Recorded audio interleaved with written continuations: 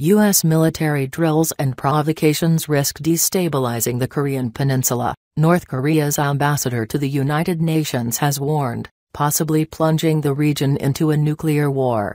Pyongyang also vowed to continue its missile tests whenever it suits the country.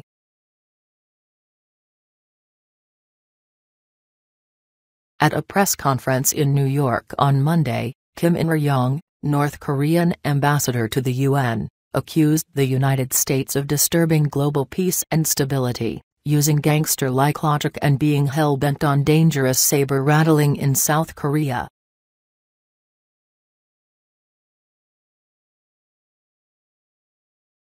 The United States introducing in South Korea, on the Korean peninsula, the world's biggest hotspot, huge nuclear strategic assets, seriously threatening the peace and security of the peninsula and pushing it to the brink of war, Kim told reporters.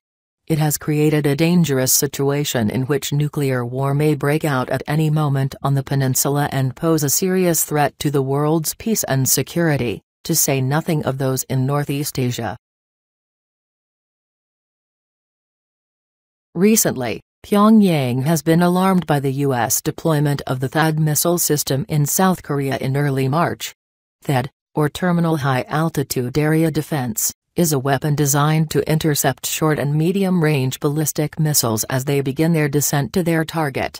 Russia and China too have criticized the deployment, with Russian Foreign Minister Sergei Lavrov describing it as disproportionate, Kim also sharply criticized the US and South Korea for staging aggressive war exercises on the Korean peninsula, which he said were the root causes of tension in the region.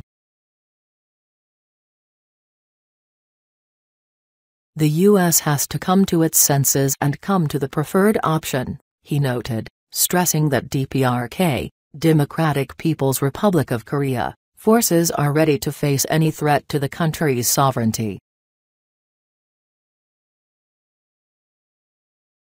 If the United States dares opt for a military action, he added, the DPRK is ready to react to any mode of war desired by the Americans. During the press conference, Kim also answered questions about North Korea's recent missile tests, which have raised serious concerns among some of Pyongyang's neighbors. On April 5, the South Korean military reported a North Korea missile test in Sinpo, South Hamgyong province after which the Japanese and South Korean governments both held emergency meetings.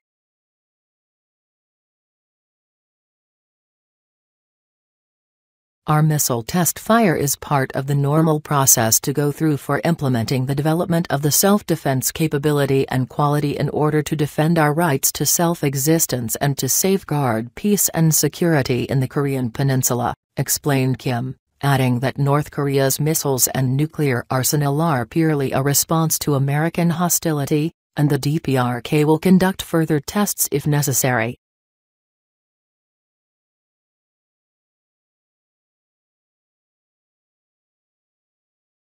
As far as another nuclear test is concerned, it is something that our headquarters decided, Ryong added. At the time and at the place where our headquarters deemed necessary it will take place. Earlier Monday, U.S. Vice President Mike Pence visited the Demilitarized Zone, DMZ, separating North and South Korea as part of his 10-day trip around the Asia-Pacific region.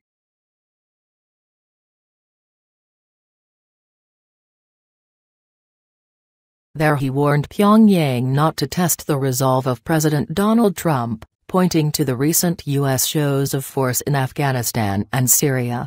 Earlier this month the U.S. fired 59 Tomahawk missiles at an airbase in Syria, ostensibly in retaliation for an alleged chemical weapons attack by government forces, and also dropped a massive device known as the mother of all bombs on a militant hideout in Afghanistan, killing 92 suspected jihadists.